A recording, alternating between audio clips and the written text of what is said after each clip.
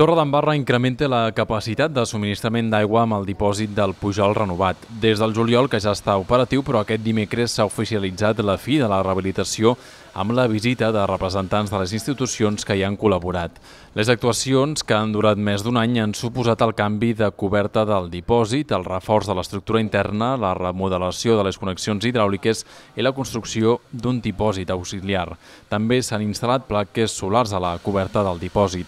Així, la capacitat d'amagatzematge ha augmentat fins als 10.500 metres cúbics. Tot plegat ha suposat una inversió superior als 828.000 euros que s'ha afrontat amb recursos propis de l'Ajuntament i dues subvencions. L'Agència Catalana de l'Aigua hi ha destinat 265.000 euros i la Generalitat 126.000 a través del Pla Únic d'Obres i Serveis de Catalunya. Però això suposa un esforç molt gran pel propi consistori, no?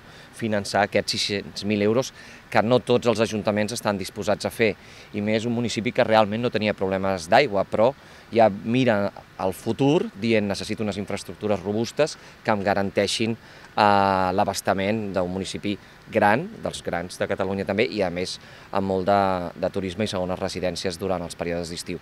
Un esforç econòmic que l'Ajuntament justifica per guanyar seguretat en el subministrament, sobretot davant les puntes de població en les èpoques fortes del turisme, quan a la torre hi poden arribar a haver més de 40.000 persones. El consum d'aigua és, és gran i qualsevol conflicte d'abastament podrà quedar cobert perfectament.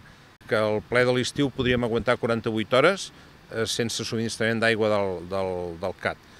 Però a l'hivern doncs, es doblaria això, podria ser 4 dies.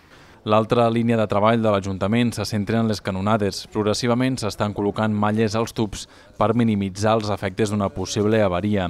Es tracta de millores per incrementar l'eficiència de la xarxa que avui en dia té un 28% de pèrdues d'aigua.